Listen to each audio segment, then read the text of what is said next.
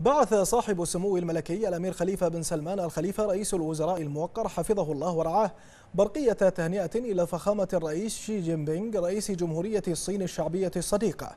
بمناسبة نجاح أعمال المؤتمر الوطني التاسع عشر للحزب الشيوعي الصيني وإعادة انتخاب فخامته أمينا عاما للجنة المركزية للحزب الشيوعي الصيني لولاية ثانية.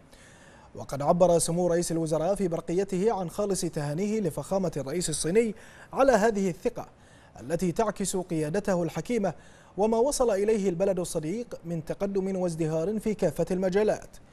مشيدا سموه بما وصلت إليه العلاقات الوطيدة بين البلدين الصديقين وتطورها في مختلف الأصعدة متمنيا لفخامته دوام التوفيق والسداد في أداء مهامه تحقيقا لتطلعات وآمال الشعب الصيني الصديق في الرقي والتقدم.